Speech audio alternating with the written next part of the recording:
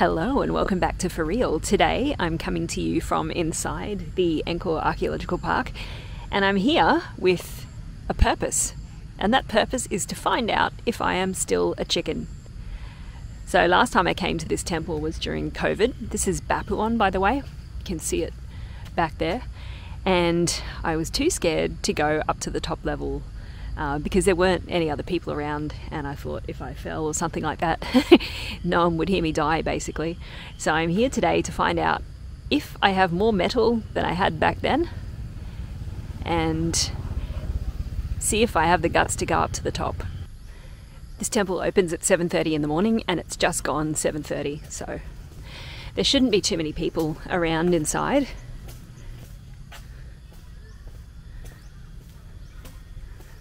I hope you can appreciate the scale of this place. It is enormous. It's what's called a mountain temple, so it's basically just a mound. Um, the inside of it is full of sand or something like that, but it's really just the um, the mound structure that they are interested in creating. So nothing inside. Lots of temples like this around Angkor, built in this style um, this mountain kind of style. This one's got its own causeway. Another interesting thing to note about this temple is that when it was kind of rediscovered and cleared back in 1908, it was very much um, in a state of ruin and the foundations were no good. So they basically took down the whole thing and redid the foundations, then put all the blocks back together, which is I mean, looking at it, just a staggering feat. But they did it, and it's still standing today.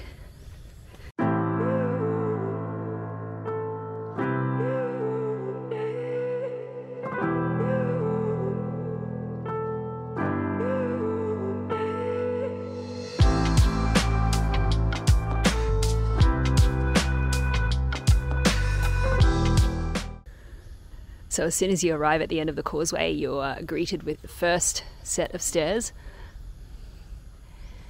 And let me tell you, these are nothing compared to what we will find. There's the view back out along the causeway from the top of this first flight of stairs.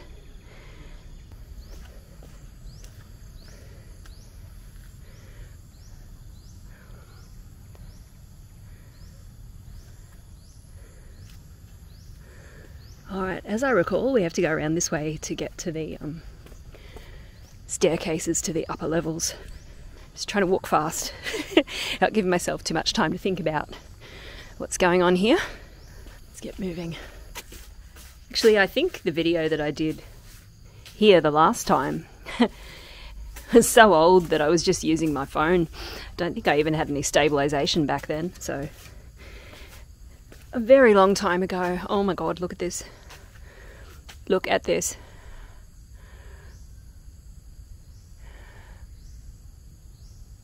Oh, roll chicken mode.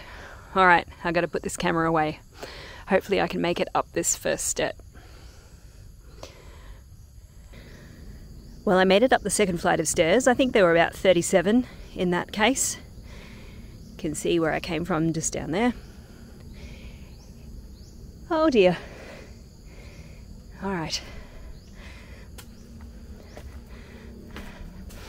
Way of visit. I love that.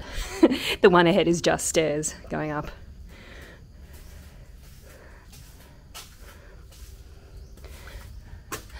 Yep, okay. This is the set of stairs that I did not go up last time.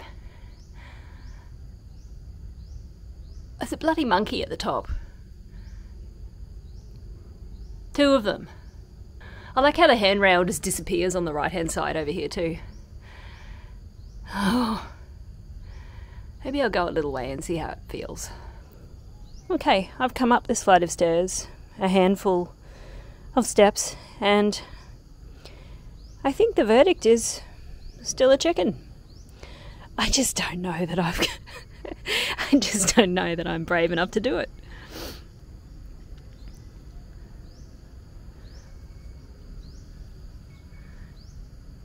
It's just so steep. The stairs are so skinny. There's no handrail on the right hand side. And there's potentially evil monkeys waiting at the top.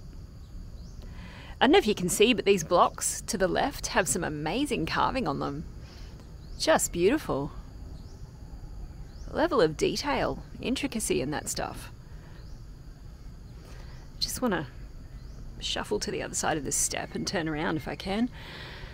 Oh, shifting foot. Okay. Look at this.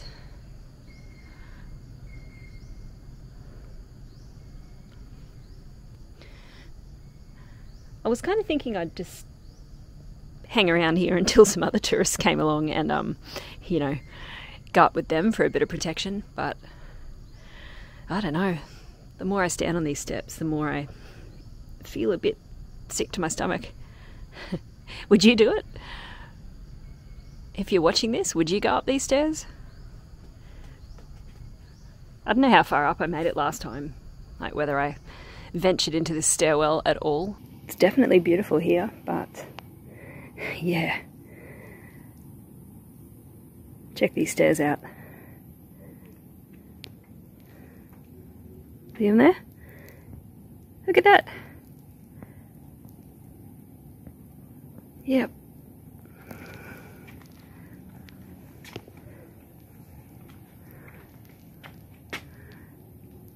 Don't think I can do it. There's some monks coming up now. They're probably going to do it barefoot just to make me look bad. Okay, let's just say I was absolutely going to go up those stairs, and it was only when I saw the monkeys that I decided not to. Okay, that's my story. I'm sticking to it. Oh, here comes another one. They're not concerned about the stairs at all. This is weird. It's as quiet now as it was when I was here the first time in the middle of COVID.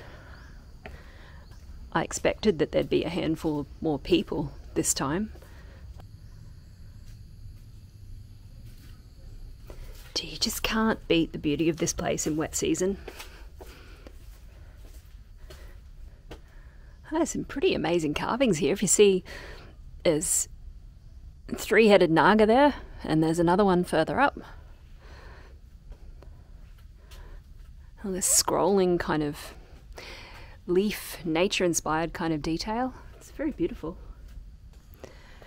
So if you go up to the very top, there's a second set of stairs that you come down because I guess when it's busy, you don't want people kind of going in different directions on the stairs. It makes sense to have it like that. Nobody up there at the moment, except for the monkeys. How is it that I am fortunate enough to be in this amazing place and to be the only person in here? Always just blows my mind. Some beautiful, beautiful carving here. There are other temples dotted around in this forest too inside the walls of Angkor Thom, which is where we are.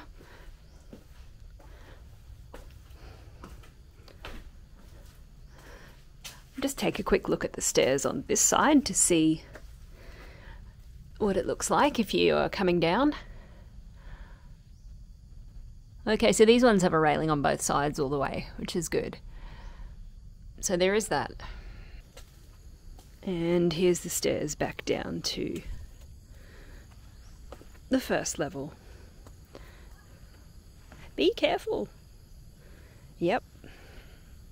There they are. I think ladder is probably a better description of what these are. Honestly.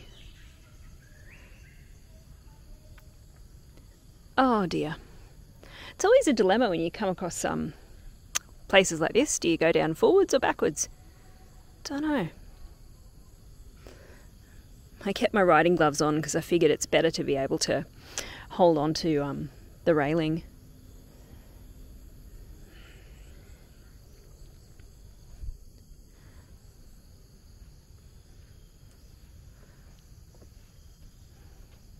Yes, all of those blocks over there.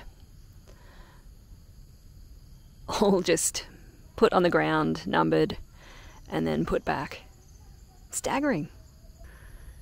Well, I made it safely back down. Who knew that visiting temples in the Angkor Park was an adventure sport?